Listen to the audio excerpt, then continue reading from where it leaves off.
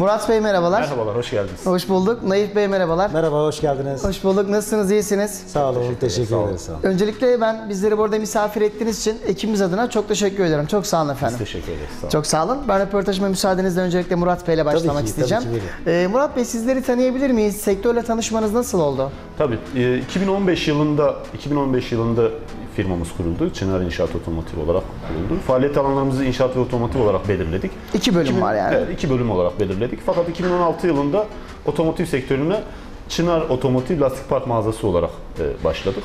E, mağazamızın e, inşaatını da biz yaptık. Yani ihtiyaçlarımıza göre belirledik. E, müşterilerimizin ihtiyaçlarını, e, personelin ihtiyaçlarını, servis ihtiyaçlarını tümünü belirledik. Ona göre bir inşaat yaptık ve e, 2016 yılından 2016 Temmuz yılından itibaren, ayından itibaren de faaliyetimize devam ediyoruz. Evet, e, sözü ben Naif Bey vereceğim ortağınıza. Sizleri tanıyalım. Buyurun Naif Bey.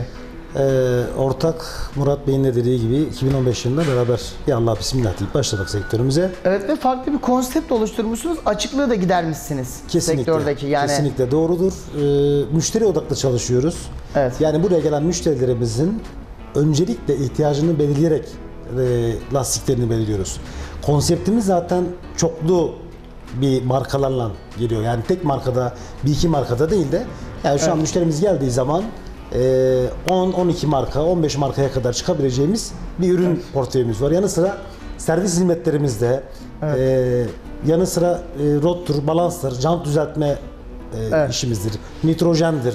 E, bu tür hizmetlerimize verebiliyoruz tabii ki. ya burada sırt sırta omuz omuza verilmiş bir mücadele var aslında. Kesinlikle. Naif Bey ve Murat Aynen. Bey'le. Sektörle ilgili şöyle bir gelişmeler var aslında.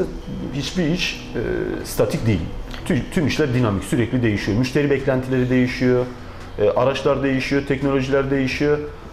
E, insanlar internet sayesinde fiyatlara hızlıca ulaşıyorlar, almaları gereken hizmet kalitesini hızlıca ulaşıyorlar ve hepsini biliyorlar. Şunu sormak istiyorum ben burada. Evet dedik sosyal medya, internet. Biz ama tüketici olarak bazen bilinçsiz davranıyoruz. Hatta biz uygun fiyat politikası bile düşünüyoruz. Bu bizde bir algı. Sizle karşılaşıyorsunuz. Bizlere tavsiyeleriniz neler? Nasıl ilerlemeyiz, ilerlemeliyiz ya da nasıl seçmeliyiz? Ürün seçiminde e, şöyle bir durum var. Bazı belli başlı ana markalar var ve bu alt markalı ana markaların da alt markaları var.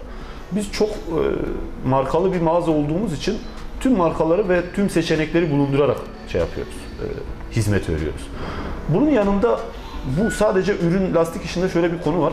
E, sadece ürünü belirlemek de yetmiyor. O ürüne doğru hava basıncı uygulamak, o ürüne bununla birlikte ön düzen hizmeti vermek, balansı doğru şekilde yapmak teknik bir konu. Yani bu tekniği bütünüyle bir arada bulundurmak Puzzle gerekiyor. parçası gibi Tabii. yani. Yani sadece iyi marka çok e, bilinen ve kaliteli, çok pahalı olan bir markayı satın aldığınızı düşünüyorum ama buna doğru hizmet alınmaz ise, doğru şekilde e, uygulama yapılıp e, araca montesi yapılma, yapılmaz ise bu durumda aldığınız lastiğin herhangi bir şeyi olmayacaktır. Biz bu yolda başarılar dilerim o zaman sizlere. teşekkür ederiz. Biz de herkesi buraya davet edelim. Bir çay içmeye, bir kahve içmeye en azından bir tanışmaya Her davet zaman, edelim. her zaman bekleriz. Bunları Her da buradan ekran başındaki izleyicilerimize hatırlatalım. Ben vermiş olduğunuz değerli bilgilerden dolayı çok teşekkür ediyorum. Bizler Başarılarınızın devamını Çok diliyorum. teşekkür ederiz. Çok sağ olun.